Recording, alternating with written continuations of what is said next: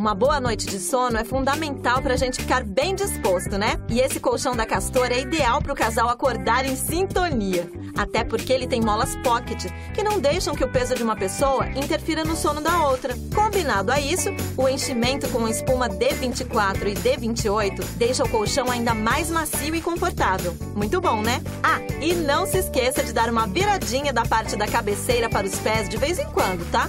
E aí, gostou dessa dica?